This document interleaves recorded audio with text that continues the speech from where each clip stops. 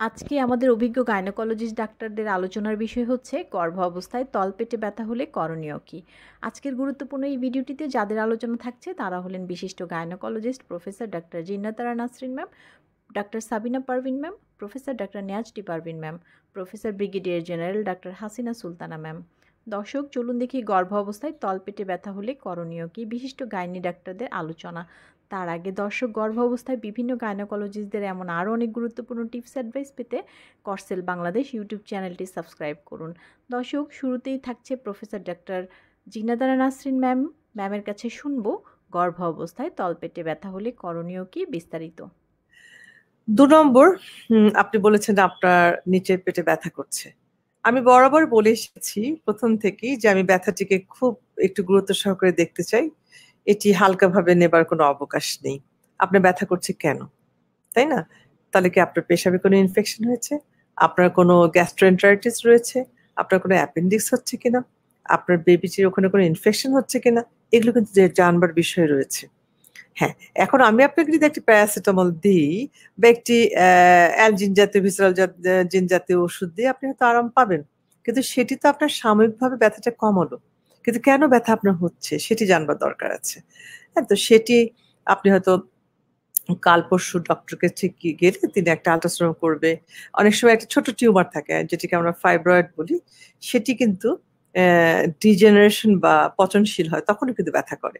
সুতরাং অনেক কিছু আমাদের মাথায় থাকে। তো আমি বরাবর বলেছি, ব্যথাটিকে অবশ্যই আপনাকে দেখতে হবে। হ্যাঁ অ্যাসিডিটি হলে অত ভয় নেই। যেটি আমরা একটু আগেই বলেছি, খাওয়া খাদ্য অভ্যেস ত্যাগ করলে বা একটু অ্যান্টি আলট্রাসাউন্ড খেলে একটু ভালো হয়ে যাবেন। সুতরাং আপনাকে অবশ্যই এই ব্যথাটি কেন হচ্ছে এটি বের করে, নির্ধারণ করে প্রপার ওষুধ খেতে হবে।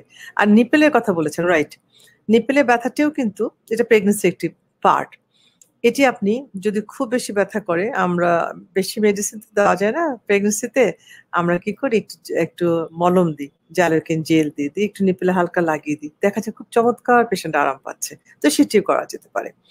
তো সুতরাং এই দুটোই আপনি আমার মনে হয় ডক্টর দেখালেই ভালো হবে। ধন্যবাদ। তারপরে আসেন পেটে ব্যথা। যেহেতু আপনার নয় মাস, এখন কিন্তু ফলস পেইন হবে। আমি জানি না এটা আপনার প্রথম বাচ্চা না দ্বিতীয় বাচ্চা, কিন্তু ফলস পেইন যেটা হয়, সেটা কিন্তু ছেড়ে ছেড়ে আসে না, সেটা ধরেই থাকে এবং সেটা আপনাকে অনেক কষ্ট দেবে। এই জন্য আপনি মার্কেটে অনেকগুলি টাইমোনিয়াম মিথাইল সালফেট নামে বিভিন্ন নামে পাওয়া যায়। যেমন হচ্ছে অ্যালজিন ভিসেরাল জিন ভিসেট টাইনিয়াম এরকম অনেক নামে ওই ওষুধগুলো পাওয়া যায়। এগুলো আপনি একটা করে দিনে তিনবার খেতে পারেন। তাহলে আপনার ফলস পেইনটা চলে যাবে। ফলস পেইনে পেশেন্ট কিন্তু অনেক উইক হয়ে যায়। পরে রিয়েল পেইন উঠলে পরে পেশেন্ট আর টলার করতে পারে না। আর মাজা ব্যথার কথা যদি বলেন, এখন তো একটু মাজা ব্যথা হবেই। কারণ হচ্ছে বাচ্চা তো নিচের দিকে চলে আসছে।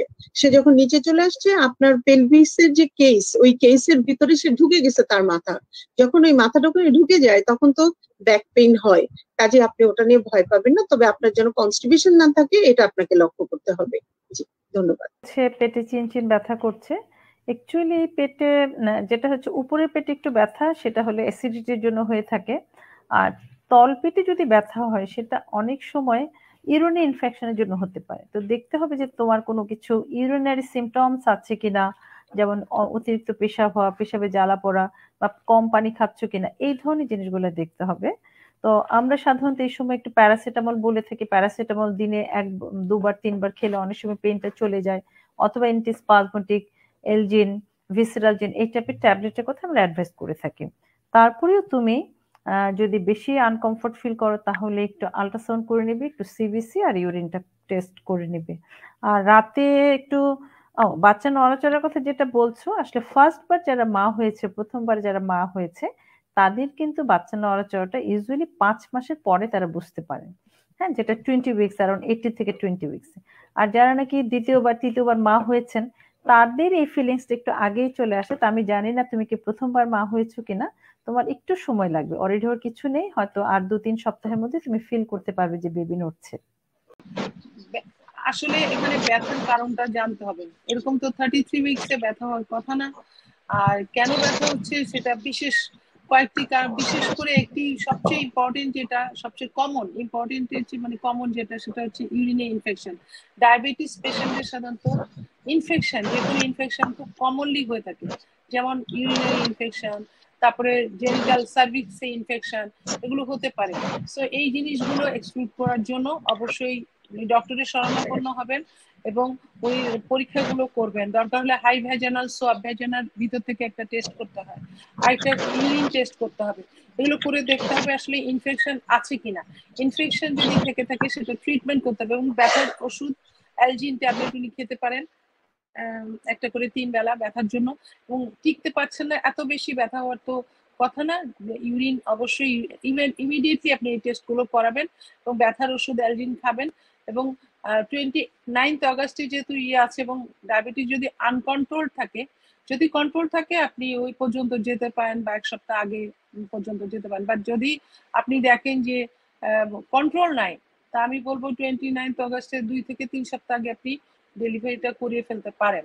হ্যাঁ এক্ষেত্রে ডায়াবেটিস কন্ট্রোল থাকলে এটা যে কন্ট্রোল থাকলে এবং ইনফেকশন ব্যথা এবং